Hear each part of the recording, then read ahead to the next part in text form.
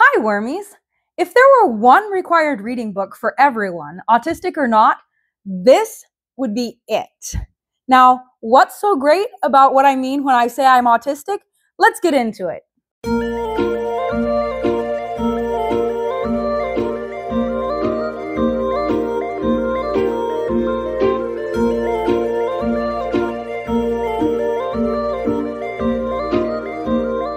Welcome to my channel. You've come to the right place to be your authentic, weird, and wormy self. I'm Hannah, and I have autism and ADHD. I make weekly videos rating the representation of neurodiversity in the media so you can make an informed decision on what to read or watch. So hit that like and subscribe button to join the neurodiverse bookworm family and not miss out on a single recommendation. When I have my own practice as a neuropsychologist, I will be keeping a box of these books in my office eh, to give to every patient or family after diagnosis. It's just that good. No exaggeration. I give it a five out of five stars across the board and would give it 10 if I could. What I mean when I say I'm autistic was written by Annie Kotowicz, who was only diagnosed when she was 28 years old. This book is her attempt at unpuzzling a life on the autism spectrum. Now, this book came out in 2022, about a year after I was diagnosed myself at the age of 23. I already thought I knew by that time a lot about autism, but this book gave me more words to describe my own experiences and helped me make sense of several new things. She shares the good, the bad, and the ugly about her process of self realization and accommodating for herself.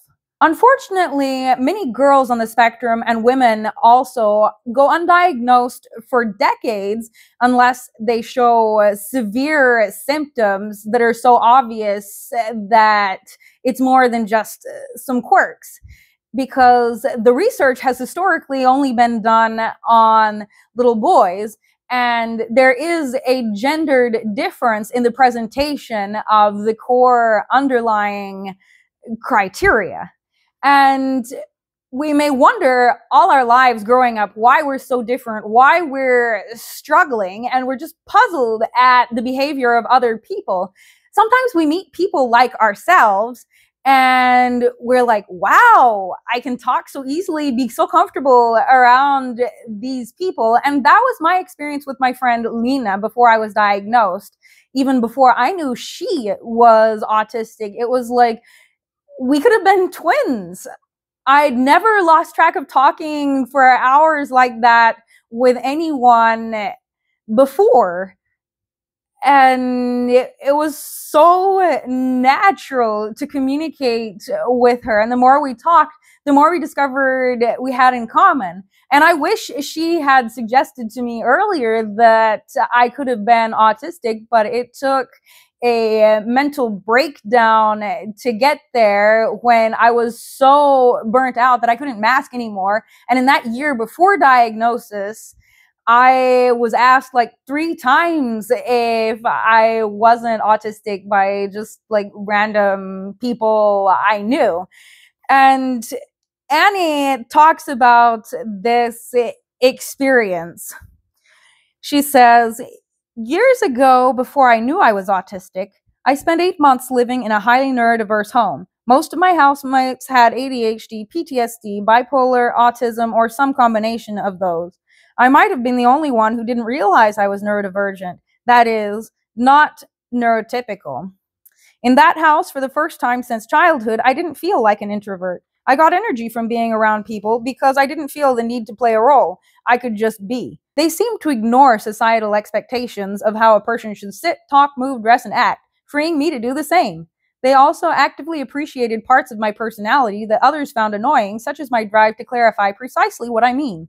My unspoken attitude towards these friends was always, these people are so incredibly cool. Everyone who can't see past their odd mannerisms is truly missing out. I confess that I had the audacity and snobbery to imagine that strangers who saw me with them would do a double take, wondering why someone as normal as me was enjoying their company and maybe reconsider their own prejudices. But I was more like my friends than I suspected. That also reminds me of when I was 18. I spent about six months living with this girl who was also on the spectrum as roommates in a shared flat with other people who were attending my study internship program. Now, we fought like cats and dogs. And at this point, I would never have heard anything about me being autistic. And when one of my other friends in that house suggested that I was more like this girl than I thought, I was like, absolutely no way. That is impossible. But little did I know I was. And I so regret being harsh on her. I think that's because I didn't understand myself at that time and I was hard on myself. So I was taking it out on her as well, unfortunately. And our different presentations of being on the spectrum as well were opposite enough that we triggered each other, unfortunately. In what I mean when I say I'm autistic, Annie Kotowicz combines theory with her personal experiences to explain what autism feels like from the inside. Chapter seven, for example, is all about misunderstandings and how people get us wrong. This chapter in particular shows that the same action can have different meanings uh, for different people. And she says, in grocery stores, it takes all of my attention to successfully navigate my cart without running into people, while also making decisions and dealing with all the audio and visual information. It's hard to do all that and also make eye contact and smile at people, so my default demeanor could easily be perceived as rude. I wish everyone understood that my actions reflect what's happening in my senses, not what's happening in my heart. To be fair, if a neurotypical person acted like me in a grocery store, it would likely mean that they were feeling annoyed. But the same action can have a different meaning for different neurotypes.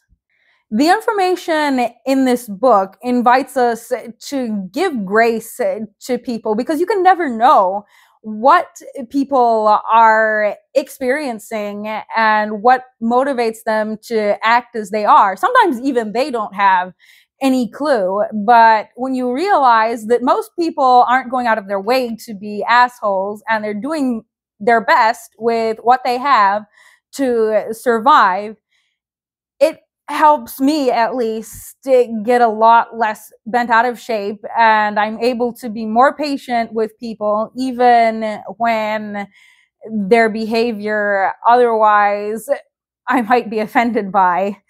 And in chapter 8, she talks all about meltdowns, what causes them, what might you notice that leads up to uh, a meltdown, all of your physical symptoms and feelings, what it's like during a meltdown, and then reviewing the meltdown after it happens and analyzing it so that you can hopefully avoid this trigger in the future or minimize it. She says, a meltdown doesn't always mean that I'm upset. Often it simply means that I'm depleted. People often find autistic meltdowns confusing and ask why we're overreacting to such a small thing. Sometimes it isn't about the thing in question at all, but even if it is, it's rare for me to consider any reaction an overreaction. Overdoing something, overthinking, oversharing, etc., means doing it too much in comparison to some standard. Before we can agree that someone is overreacting, we have to agree on the standard to which we're comparing them. That standard might be how they would react if they were having a better day, or how most people would react. But the standard I prefer to use is the size of the feeling. A big reaction to a big feeling isn't an overreaction, it's an accurate reaction. It's only overreacting if it's a big reaction to a small feeling, because then it isn't communicating how the person really feels. And as autistic people, we often experience everything really intensely. We live on one extreme or the other in almost any continuum you can think of. And it doesn't matter whether the emotion is overwhelmingly good or just absolutely the deepest, darkest pits. it's usually something pretty intense. And I've come to accept that I can't have the intense highs without, unfortunately, the intense lows. And meltdowns really are a state of being overwhelmed. I remember once in my worst public meltdown as an adult that I can remember, someone asked me a question in a loud, noisy restaurant what I wanted to eat. I was already hungry and I'd spent the previous four days on a boat doing mission work in the Amazon, translating for medical providers in the riverside communities. And so I was lacking sleep. I was exhausted. I was hungry. And I should have listened to my body telling me to just uh, stay home because by this time we had arrived back at our base and I could have stayed there. But I pushed myself. And this was the last thing that pushed me over the edge when this person asked me the question in this loud, overwhelming restaurant when I was already hungry and exhausted. My body just slid out from under me and uh, I lost like almost all strength. I couldn't talk, and I just kind of laid my head on the table like this, and it, it was horrible. Sometimes I wonder if my extreme laughing eh, in certain situations when I'm just triggered so that I can eh, not stop laughing and it feels as if someone else is squeezing my ribs and diaphragm that I'm laughing for several minutes and I can't stop even when I'm not finding it funny anymore. It, at least it's a good feeling, but it's just as exhausting as the meltdowns from a bad, overwhelming feeling. Chapter 9 is all about quirks that don't fit neatly into the other previous chapters. And one of them is having two main mental modes that she calls safe mode and flexible mode. And I relate to this. Let her explain, and then I'll tell the story. I feel like my brain has two settings, which I call flexible mode and safe mode. I can usually choose which one I want to be in, though it takes some time to switch back and forth. Both have pros and cons. Flexible mode means I'm prepared for surprises and interruptions. I know they can come at any moment, so I stay alert. And when they happen, I can handle them. Safe mode means I'm able to focus without fear of interruption. I feel protected because I know that if I begin a complex thought process, it won't get cut off. The problem with flexible mode is that it doesn't allow me to think very deeply or do the kind of work I find most meaningful. It also takes a lot of energy and creates physical tension in my body. The problem with safe mode is that it makes me more vulnerable. If something breaks my concentration, it's extra upsetting, and it makes me lose my ability to think and speak clearly. I feel calmest and happiest in safe mode, but most of the time it isn't worth the risk. Even though flexible mode is harder, it isn't nearly as hard as suddenly being thrust out of safe mode by an interruption. Everything feels easier if I'm ready for it, but the hard part is remaining ready. That is so true. And especially if I'm dealing with a lot of other sensory issues and I just want to focus and concentrate on what it is that I need to get done, then getting ripped away from that is almost physically painful. And it reminds me of once when I was working in the Amazon as an English teacher and I was on my way to class. It was hot. I was tired. I didn't want to be teaching. I just wanted to be somewhere cold and dark, but I just gritted my teeth, steeled myself, and was marching to the classroom. And on the way, my now fiance stopped me saying they'd changed the internet password and he was going to help me reconfigure my computer. And I snapped at him because it broke my concentration and in my mind it was almost a sensation of if you know if you're running really fast and in those cartoons when you run up there's a wall that comes up in front of you and out of nowhere and bam you hit your nose in it and it leaves you like pug nosed that's what it felt like to me to be jerked out of my safe mode when I was focused and lasered in on just getting through that afternoon of teaching. What I mean when I say I'm autistic is not only accurate, authentic, and so very relatable for me, it's also very thought provoking. When she was younger, she wished she'd had clear, precise explanations. And so now, as a writer, she's able to give these explanations that she wanted and help other people explain their lives.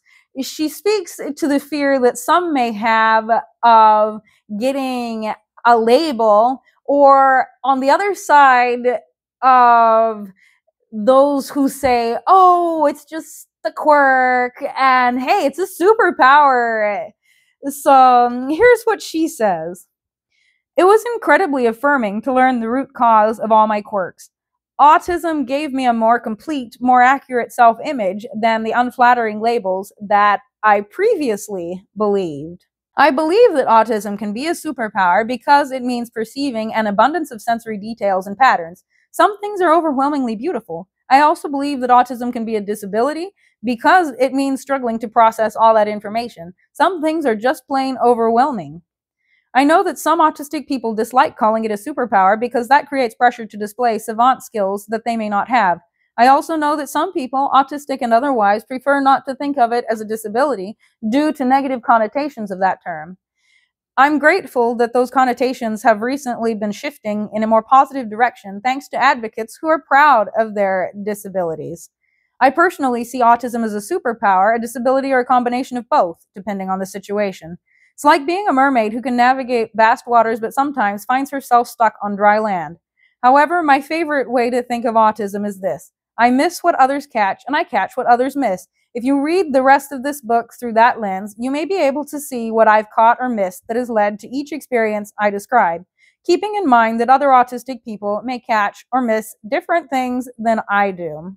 And when you grow up undiagnosed autistic, you often get told that your experience isn't reality. So you learn to just push through uncomfortable sensory situations and accept what other people tell you about it. And then when you're diagnosed, you have to puzzle through all of that and learn to accommodate yourself that life does not always have to be uncomfortable.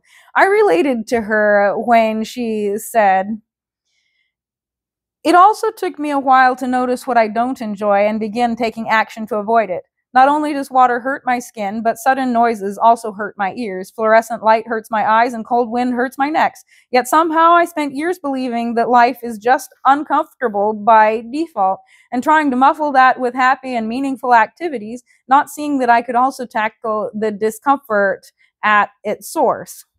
When you don't realize you have a choice, you put up with uncomfortable experiences eh, for far too long chapter 10 optimizing your life goes into this in more detail on how to meet your needs.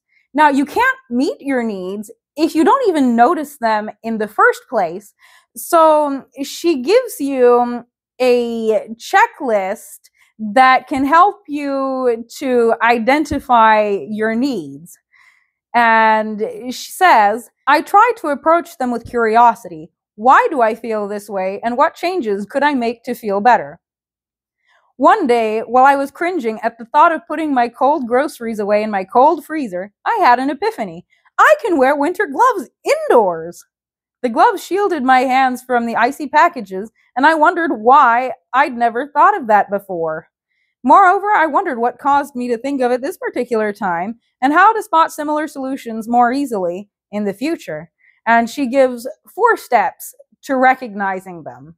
Well, chapter 10 was all about self accommodation and things you can do to make life easier for yourself. Chapter 11 is written to people who want to know how to support autistic people. And the principle behind this chapter is if you want to be kind to us, then the only way is to be kind to everyone, giving the benefit of the doubt when people behave in ways you don't understand. she continues in chapter 12 to talk about the beauty of autism. And it's not just the good parts.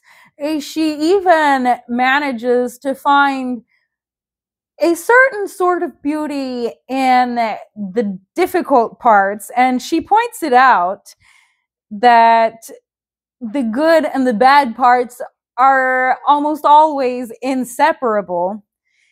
And I want to read you a quote from the section Annoying to Behold.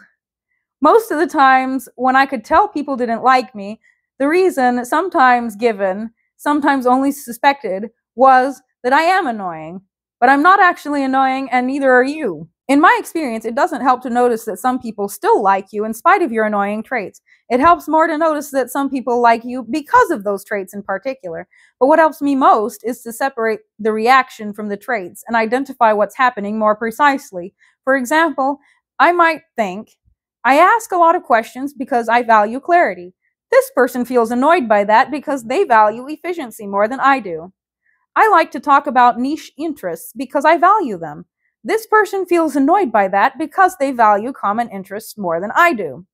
I sometimes speak in a monotone way because I value focusing on ideas and find it hard to focus on tone at the same time. This person feels annoyed by that because they value presentation more than I do. If you decide that you want to change your actions to get a different reaction, I support you, but do it with the understanding that you're trying to improve the relationship, not trying to fix yourself. Be aware of the toll it may take on your mental health. And if you don't succeed, know that the problem is a difference in values, not a problem with you as a person.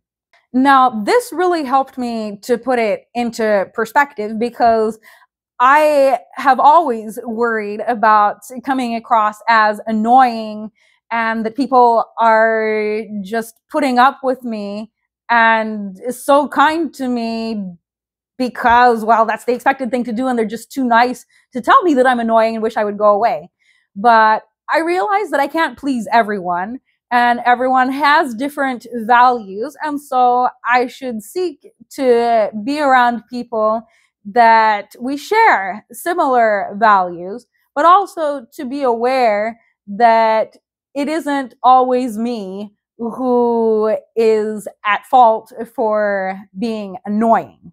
At a little over a hundred pages, this book is jam packed with clear concise, relatable information, especially for women on the spectrum. I've never come across a book that explained autism so clearly and concisely, beautifully and elegantly. It's so creative, positive, and balanced. And the cover, it's hard. This copy is a hardcover and the cover design is just brilliant. I don't know how to describe it, but the whole layout of this book gives me these warm, fuzzy, cozy feelings. And in this S right here, she includes a bit of the symbolism in the infinity symbol, which some people use to represent autism instead of the stereotypical puzzle piece. And not only is the cover design beautiful and the book comfortable to hold, but the font and layout is accessible for people even with reading difficulties. She's also working on an audio version but if you're unable to read all the chapters in detail, the chapters are short and divided into subheadings so that you can easily skim over it and get the main material. And if something catches your eye, read that section in more detail. Check out Annie's blog, Neurobeautiful, and her Facebook page with the same name. I'll link you to both down in the description. So, what does it mean to you to be autistic? Tell me about your journey of self discovery and what you've done to accommodate yourself and advocate for your needs. And thanks for watching. If you found this video helpful, please like and share. And if you're looking for more neurodiversity media content, then click here to see my latest review. And don't forget to comment what you would like me to review next and subscribe so you don't miss my latest recommendation.